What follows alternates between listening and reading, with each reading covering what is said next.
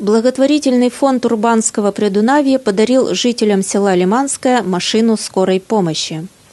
Старая неотложка свое давно отбегала и уже ремонту не подлежала.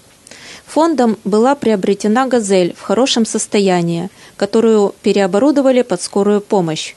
Параллельно был проведен капитальный ремонт этого автомобиля.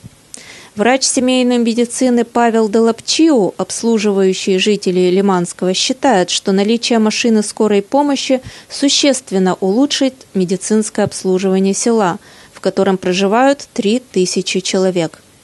Как отметил народный депутат Украины Александр Урбанский, преимущество новой скорой помощи в том, что этот автомобиль может работать как на бензине, так и на газе, а это в два раза дешевле. Настоятель Свято-Троицкой церкви отец Игорь Новохатько осветил колесницу сию и выразил надежду на то, что медики будут излечивать тело, а новая церковь – душу. К празднику присоединился и депутат Одесского областного совета Иван Бойченко, который привез в Лиманское набор медикаментов и молодые сосны. Первые 13 деревьев украсили центральную аллею – которая ведет от церкви к сельсовету.